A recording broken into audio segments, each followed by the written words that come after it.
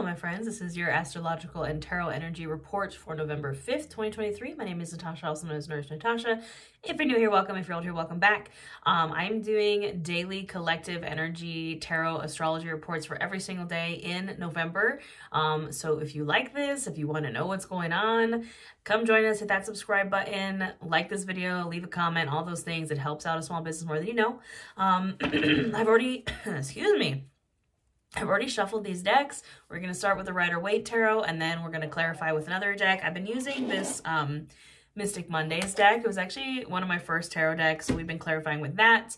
Um, we're going to get right on into it. I'm going to just shuffle these decks a little bit while I tell you kind of what's going on on today, November 5th, just astrologically.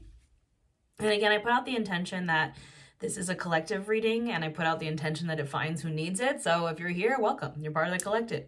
Um, so we already have, my throat is like, perhaps throat um, chakra activation here or allergies, you know, a little bit of both. Um, we have the Seven of Cups already here. We just had yesterday, Saturn went direct in Pisces. So Saturn is no longer retrograde. It was our graduation. It was a reality check. It was the final exam. Did you pass? Maybe, hopefully. If you did the work, you passed. Um, but we have our, I mostly focus on the moon because I'm a moon witch. So we're going to be most, bleh, mostly focusing on the um, transitions in the moon, um, the moon phases, what sign it is in, and then like major transits, like again, Saturn direct in Pisces is kind of a major transit. Today, we are in our last quarter moon in the sign of Leo. I'm a Leo moon, so I love it when the moon is in Leo. It makes me feel so good. Um, but with the Leo moon, our, our last quarter moon, it's like step into the spotlight, finish up any projects that you have going on. Leo rules the heart, so could be a great time to work work on opening that heart. Um, but yeah, Leo moon, step into the spotlight. And stepping into the spotlight, while yes, it is getting attention, it could also get um, criticism, but criticism isn't something to run away from. It's, you know, can be constructive. Obviously, we don't want haters and stuff like that, but when you put yourself out there, that's just, it comes with the territory. So we have the Seven of Cups already lurking here, being spoiled for choice, lots of options. You know, I, I think maybe now that we've kind of had that final exam moment as Saturn goes direct in Pisces, it's like, okay, now what? like, mm, now, you know, the Seven of Cups is like you have all these options in front of you, and it is kind of an illusion, sort of um, energy. You know, there the things in the cups may not be as they seem.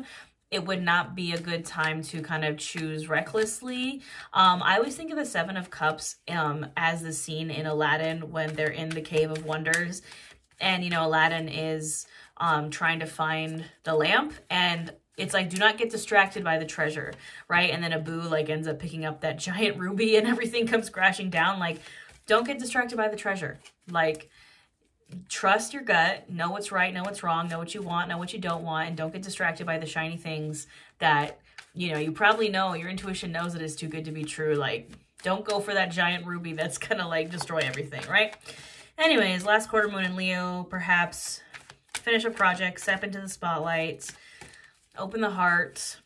What else? What do we need to know on November 5th? 2023. All right, just all the cards. Oh, wow. Would you look at that? We have a repeater. the Eight of Swords was uh, a big player in our reading yesterday, November 4th. The Emperor reverse behind that. Yeah, if you're feeling stuck, if you like you can't make big boss moves, you can't move forward, it's in your mind. You're feeling trapped in your brain with your limiting beliefs. Stop it. Get some help. Do something different. Seven of Swords. You know, this is a card of, can be lying, cheating, stealing, deception, but it is more importantly a card of doing things in a different way. This person is stealing all the swords away from the battle camp so they don't have to go to battle. Like, do something different. do something a little different. Well, we had with the Seven of Swords, the World, and the Six of Pentacles pop out. I kind of have to censor this because she's Nike. Um, but the world is full circle, completion. A cycle ended. A new cycle begins. Saturn direct in Pisces. We have had our final test, our final exam. And this was also a card that came up yesterday, the Six of Pentacles um, equal giving and receiving. This is also honestly the card I associate with the heart chakra and balance, um, which again, Leo rules the heart. Um, you can see the scales here. It is a, it is an earth sign card. So, um, Virgo, Capricorn, Taurus, but it is also a card of Libra because we have the scales there. If you have not had that full circle moment yet, if you have not passed the test, it's time to do something a little differently. And what, what do you do differently? You need to have equal giving and receiving. You need to have equal give and take. Perhaps you need to be generous. Perhaps you need to stop being so generous and let yourself receive. All right. I mean, the world is, I don't see that card very often. It is a very lovely, lovely card to get. Um, and again, it's like full circle. Congratulations. You did it. Completion. Again, Saturn direct in Pisces. Saturn is the lord of karma. You know, Big Daddy Saturn is like, that's a big deal. Have you had your Saturn return yet? Like, if you don't know what your Saturn return is, it's when Saturn returns to the planet that you were born under. And that's literally like what we call a midlife crisis. Like Saturn returns happen around every 30 years. So you have one around when you're 30, like 27 to 30. And then again, when you're around 60, like 57 to 60. Why do you think so many people have midlife crises at 60? Because Saturn, your Saturn return happens. It's like a one to three year period where you have to graduate. And it can be hard. It can feel like a mercury retrograde. Um, if your saturn is in pisces congratulations you're in yours right now. Mine was in aquarius so i just ended mine in march. And it's a giant up level. Like yes you might experience some major tower moments and transformations. It's not easy. Saturn return you know gets a really bad rep for just being terrible sometimes but it's because your karma comes. You have to pass the test. You have to up level. You have to graduate. So, yes, you have to move on. Six of Swords. You have to move on to commerce, so, commerce shores. Lots of swords energy here. Um, getting in the boat and moving on. What are you taking with you? What are you leaving behind? Like, I love the Six of Swords. Could be a card that you're moving or have plans of moving, but today on November 5th, I would say figure out what you want to take in that boat, figure out what you want to leave behind. You know, if we're going through this graduation moment or we have had this graduation moment with Saturn direct in Pisces, now it's time to be like, all right, I'm not that old me anymore. That's not me. What is coming with me and what is getting left behind? The Magician, absolutely. You can create your own reality. You can do whatever you want. Um, you know, with the vibe of kind of like finishing up your projects and, and kind of, you know, it's like tying up loose ends is what I'm hearing today. Um, you have all the tools you need. You see the magician has all the suits of the tarot on the table. They have the infinity symbol um, over their head. They're doing the as above, so below hand signs. Like you can create your reality. You can, you're the alchemist, you're the magician. You can do whatever you want. so just, why not just do it? King of Pentacles, absolutely. King of Earth. Um, I always see him as just like heavy Taurus energy. Um, you can see there's kind of like the bull uh, behind him. But the King of Pentacles is the King of Pentacles because he has so many systems and has done so much hard work and has put all those things in place already that his abundance goes off like clockwork. You know, he has already worked really hard to get to where he is. So he can like sit back and relax while his abundance just kind of takes care of itself. So maybe do some heavy abundance work today, work on um, the systems, work on stability, work on foundation. Um, yeah, I mean, yeah, of course the Five of Cups is at the bottom of the deck if you're in my membership, which by the way, if you want to, just hit that join button. I have a membership here on YouTube where we do live tarot, live yoga, live workshops. This has been our stalker card for eternity. Um, this is the card of grief, of disappointment, of crying over those spilt cups. Stop crying over the spilt cups. Please, I need to stop seeing this freaking card. It's, it's annoying me at this point. Turn around and get those cards that are upright. If you're feeling like you still have not passed the test, if you're feeling like you still haven't closed that cycle, you still haven't had your world card moment, just do it. Insert Shia LaBeouf saying just do it here. Um, that's who I see as the magician, by the way, is that Shia LaBeouf video where he's like, just do it. Um, yeah, we got to move on. Move on, Mary. Um, all right.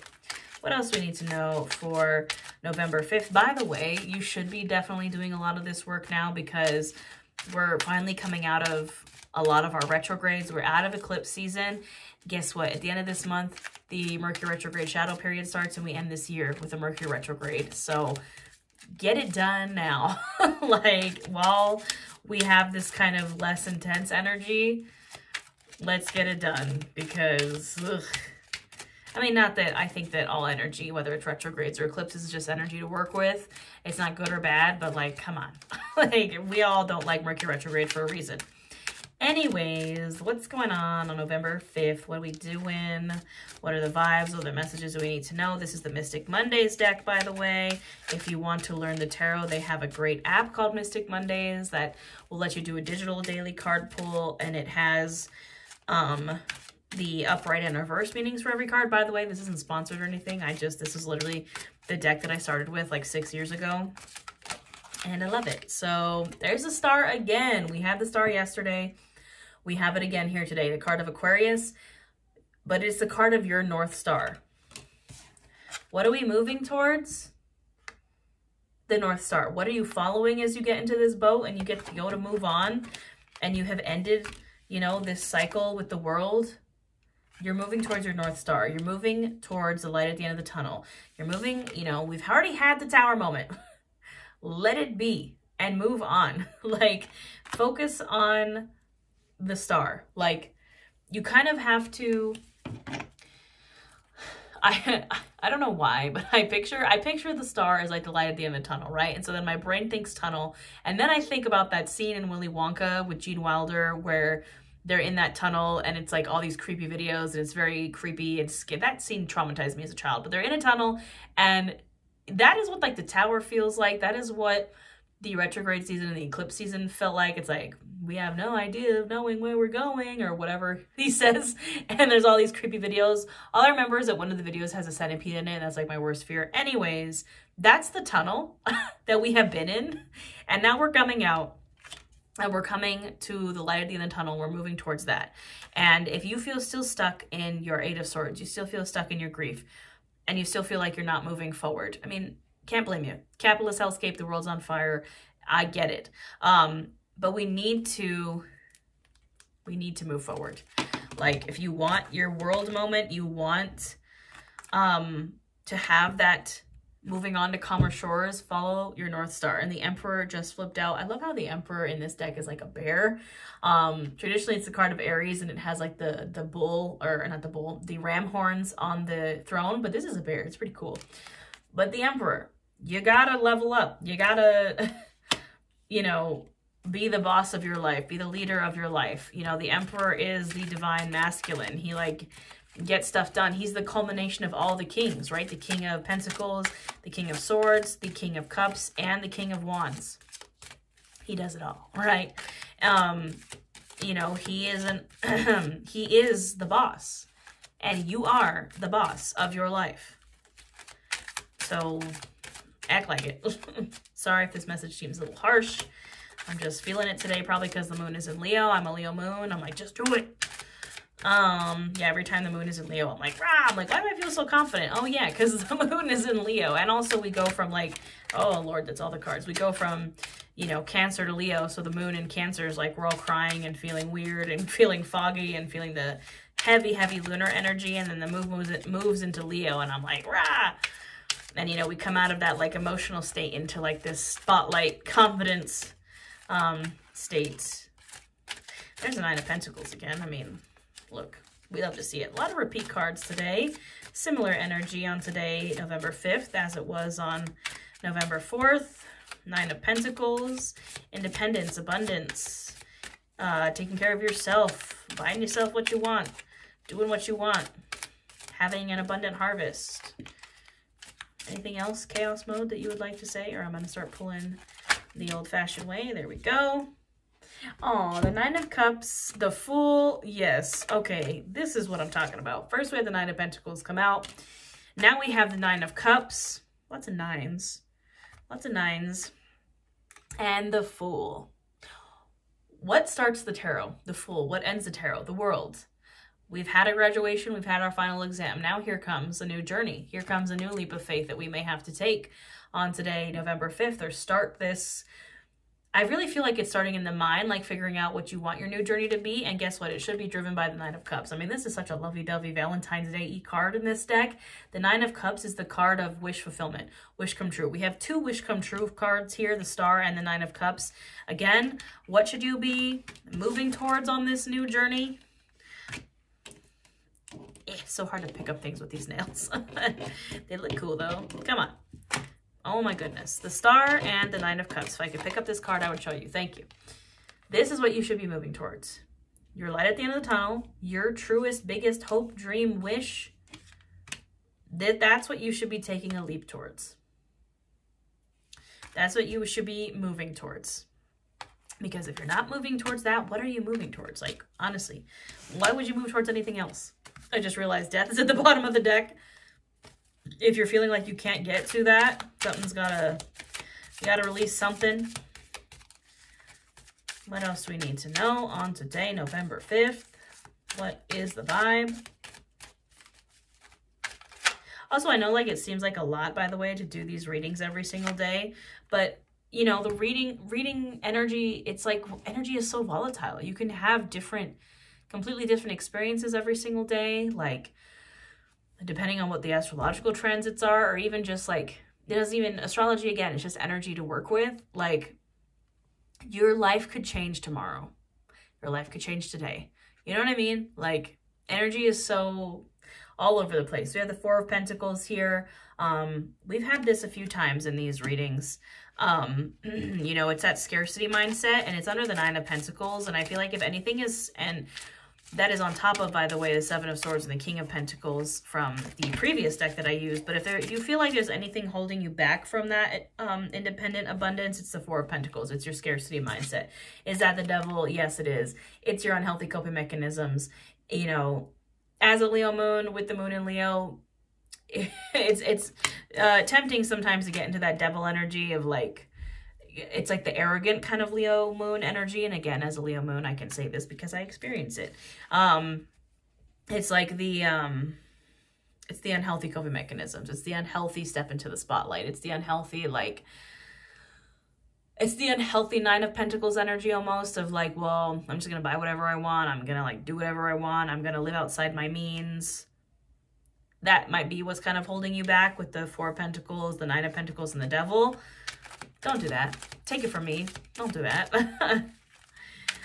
don't lean into the unhealthy coping mechanisms we're trying to be a boss here y'all the hermits and the queen of wands yeah if we're trying to get out i'm gonna get one more on that because there's a Six of Pentacles again. This is like our Eternal Stalker card in the month of November. Equal give and take. Oh my goodness. Um, if you're feeling the Hermit is, you know, going inside, going deeper, it's the card of Virgo. If you don't know what your Nine of Cups is, if you don't know what your wish come true, you don't know what your North Star is, you need to go inside and figure it out. The Hermit is the card of like solitude, taking a break, taking a hibernation with the intention of I'm going to do some inner work. Um, I hear, I, I, I just realized I make Princess and the Frog references a lot, probably because it's my favorite Disney movie or one of my favorites. I hear Mama Odie's song, Dig a Little Deeper. And you know, when like, um, Princess Tiana just like isn't getting it, she's like, I'm just gonna work a little harder and like, and Mama Odie's like, oh my God, like, um, and working hard is great. Working hard is great. We love to work hard, but you know, there's no balance there. There's no Six of Pentacles.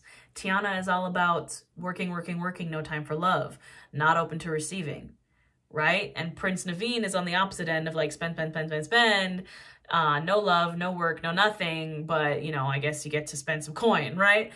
No, stop it. Get some help. Find the balance. You have to do both. You have to have that equal giving and receiving and and love and money right that's that's what we're trying to go for i just wanted to pull one more who is that that just flipped out i by the way when my cards drop on the floor i pick them up with my toes so i don't have to bend over and grab it. Uh the empress yes. And the two of pentacles at the bottom of the deck. Absolutely. That's exactly what i was saying. That's exactly what i was saying. Just yoga teacher things picking up cards with your feet. Um anyways the Empress and the Two of Pentacles. This is work-life balance. This is money and love balance. This is all work and no play or all play and no work. That's imbalance. We don't like it. Stop it. Get some help. The Empress, luxury, abundance, Venus energy, Taurus energy, self-care energy, Nine of Pentacles energy. You can have this without diving into that devil energy, without diving into the overabundance and the over luxury and the over extravagance. Okay, we want balance. balance is the name of the game, my friends. So that is your reading for November 5th. I hope you enjoyed. Um, as always, you can book a personal reading if you'd like. Um, the links will be in the description box below. I have a ton of witchcraft and wellness offerings. I have guided journals, I have ebooks, I have courses, I have um, personal readings. I also do retreats, but they're all sold out at the time. Again, if you enjoy my energy, you enjoy this, hit that subscribe button or hit the join button to join my YouTube membership. If you want to support my channel, that's the easiest way too. It's kind of like a Patreon. Um, but you also get a ton of stuff. You get live tarot and live yoga every week and live new moon and full moon workshops. And it's only $9.99 a month. So if you want to support my channel, please hit that join button or it just hitting the like button just helps me more than you know. I'm really trying to hit 100,000 subscribers on YouTube. Please, YouTube guys, I just want that silver plaque. Um, and I'm doing this every single day for the month of November. On top of, I put out new moon and full moon yoga classes and tarot readings. On top of, I put out yoga classes for plus size folks. I do it all, my friends. So come on down, join me here. Um, and I'll see you for tomorrow, November 6th.